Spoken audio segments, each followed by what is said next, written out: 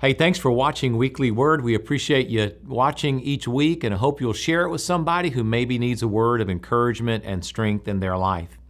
You know, I know a lot of people, including my own family, that we're kind of careful about what we eat.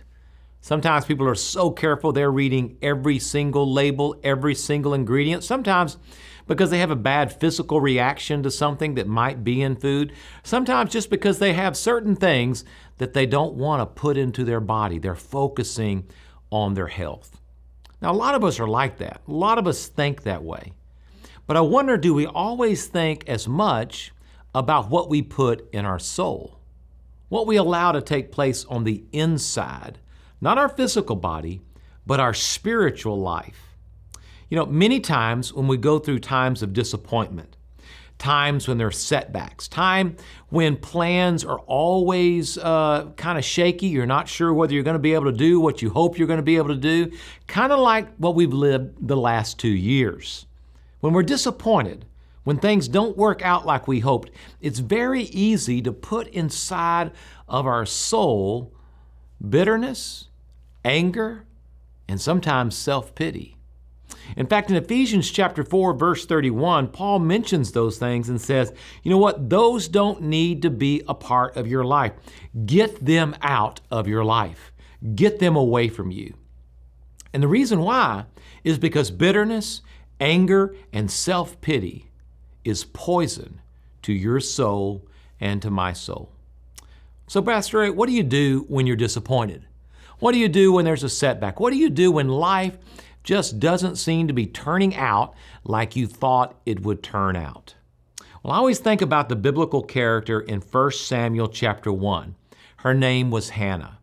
Hannah and her husband, her husband loved her, but her husband had multiple wives, and his other wife was having babies after baby after baby. She was a fertile myrtle, but Hannah was not. In fact, Hannah was not able to have a child, and she struggled the disappointment level was on the rise.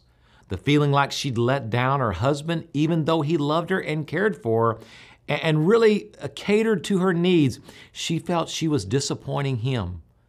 Make matters worse, the other wife, who was having all of those babies, would mock her and laugh at her and ridicule her.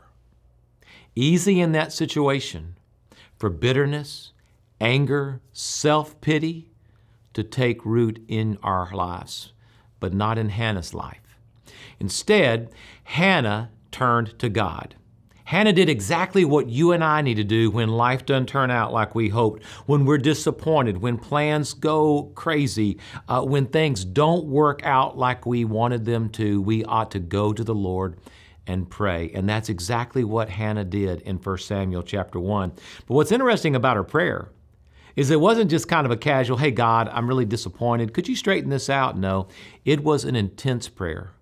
In fact, her prayer was so intense, with such emotion, calling out to God, the high priest Eli, who saw that, when he saw it, he thought that she was drunk in the middle of the day. She wasn't drunk. She was just pouring her heart out to the only one that could strengthen her and could drive bitterness and anger and self pity out of her life. When you feel disappointed, when you feel things are not working out like you hoped, don't get bitter. Don't get angry. Don't get into self pity. Instead, go to your knees and pray and ask for God's strength. Hannah did. And God blessed Hannah. And God gave Hannah a baby, the great prophet Samuel, who gave so much and who so many benefited from his life. Drive it out, but put in prayer. May God bless you, and we'll see you next week.